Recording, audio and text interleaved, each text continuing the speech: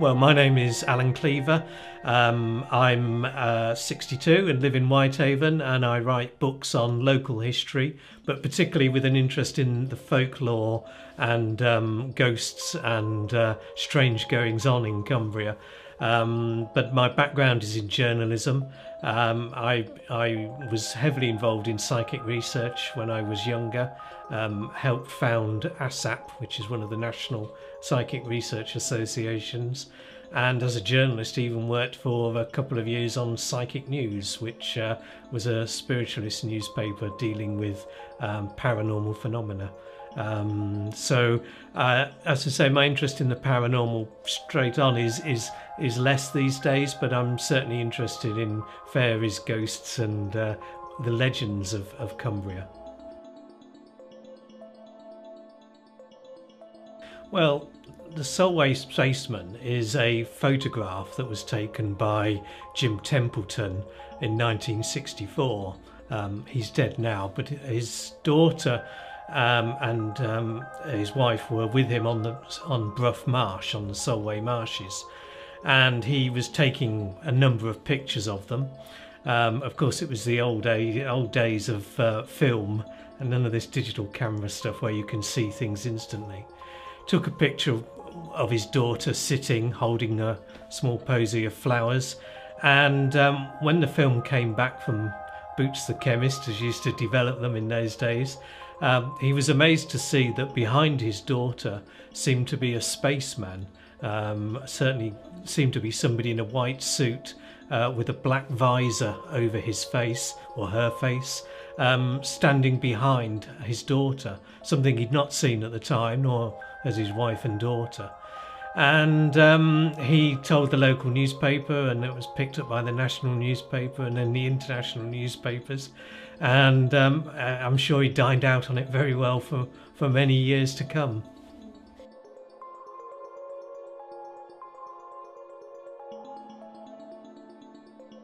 Yeah, I mean, um, David Clarke, I think, was the, the main researcher uh, on this one, and uh, he did some some fantastic work as he always does, and he investigated as much as as much as he could.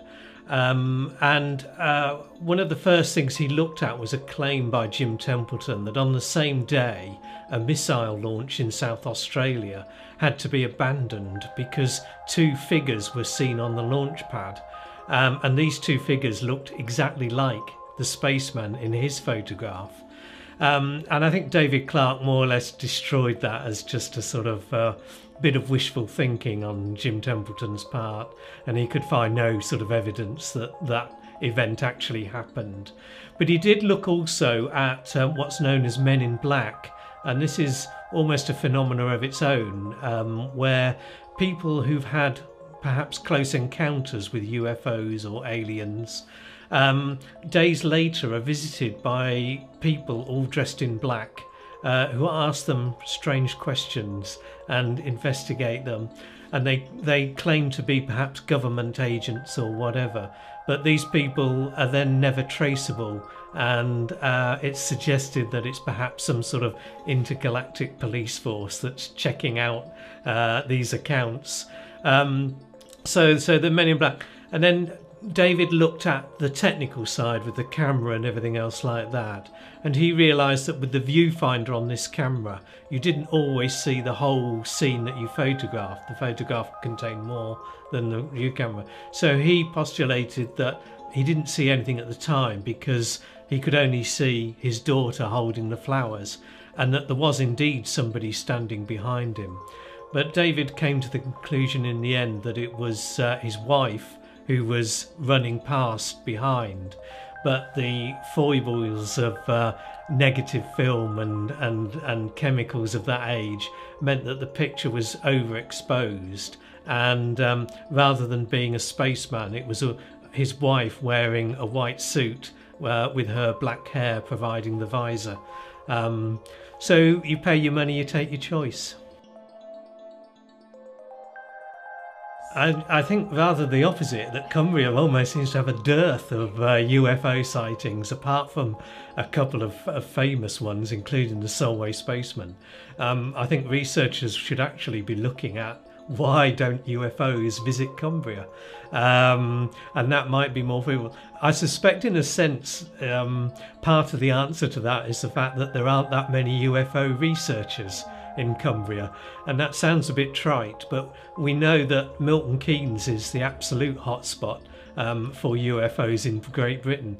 But that seems purely because uh, Ken Phillips, the researcher there, um, is so active and so good at tracking down accounts that he just finds more UFO sightings than anywhere else.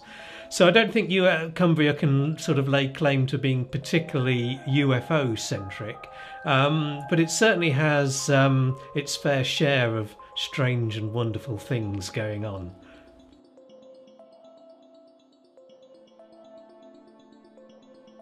Um, I wouldn't rule it out. Uh, stranger things have happened. Um, I mean, it's interesting. The more, I mean, I, have been researching, the, the, I researched the paranormal for probably 10, 15 years when I was younger, less so now.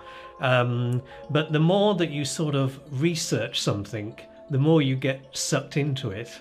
Um, and I can't say I've ever had men in black turn up at anything that I'm doing, but certainly strange things start to happen to you, um, particularly on poltergeist cases and, and ghosts and hauntings.